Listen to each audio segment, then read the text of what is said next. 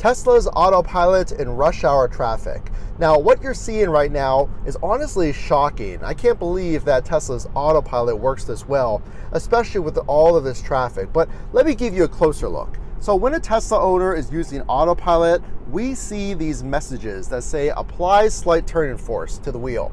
So I give a quick nudge and that's all it takes. Now, a lot of people think when you're using autopilot, you must be using the paid version. Now, you can see traffic slow down and my Tesla adjusting just like that. This does not cost anything. It's actually included in every single Tesla. So all I have to do is monitor the road and monitor the screen. Occasionally, you'll see a message that says apply slight turn force to the wheel, and I just give a quick nudge, just like that, and it's all it takes. Now, this I use in rush hour traffic, in the day, at nighttime, even when it's raining or snowing. And honestly, it works phenomenally. But what do you think? After watching my Tesla drive itself, would you use autopilot in rush hour traffic? What do you think?